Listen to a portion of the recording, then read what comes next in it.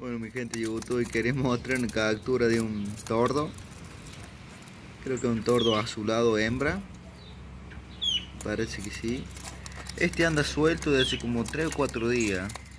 Anda en distintas casas, mejor dicho. Tiene para mí, tiene, el tiene una ala quebrada que está caída y está chupino y no vuela poco. Y anda saltando en todos lados. Acá salta la tapia en mi casa y si viene a comer.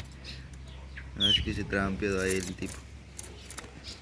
Ya no me libera, pero no vuela, así que espero que se recupere y pueda volar, si no va a ser comido por los gatos, los perros.